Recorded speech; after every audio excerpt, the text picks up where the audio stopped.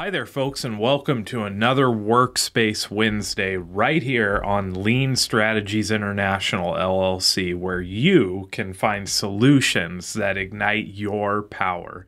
Thanks for joining us this week, where every Wednesday we do a Google Workspace tip as well as post quite a bit of supply chain and operations content. So if that's stuff that you want to learn more about, please go ahead and subscribe to the channel. Make sure you hit that bell notification so you can see whenever we go live or new video posts and you can get all the supply chain op and operations and business content for free to help you grow in knowledge.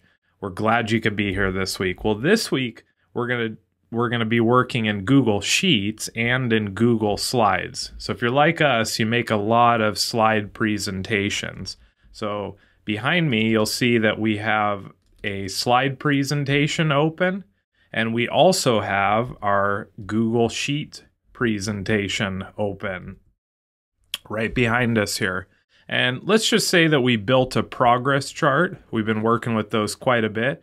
And we don't want to present off of our Google Sheet here. As you can see, this would be a little bit tricky to stand in front of a bunch of executives and business owners and talk them through a spreadsheet like this. You'd have to really adjust it quite a bit.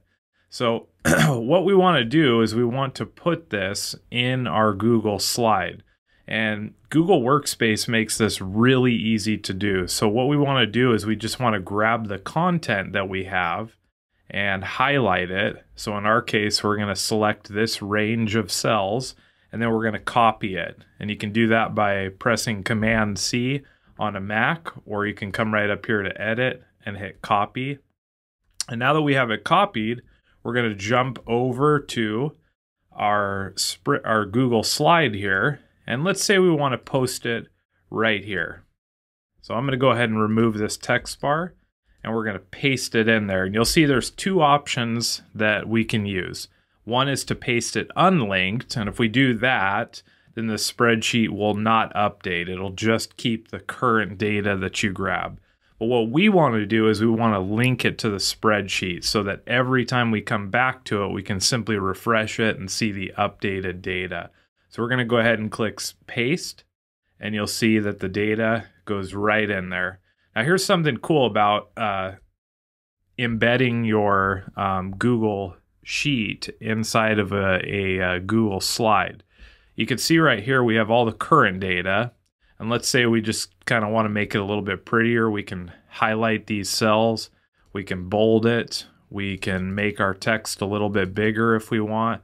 We can kind of edit it. But then let's say that one month we're inputting our data.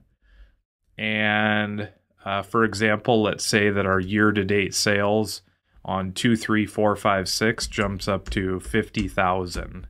And so you see that our progress goal has changed. And let's say this one jumps up to 1456. So that one changes. And let's say this one drops a little bit. So it's 75,000 now. So all this data has changed and we don't want to go through the embedding process all over again. Well, this is what's cool about uh, Workspace.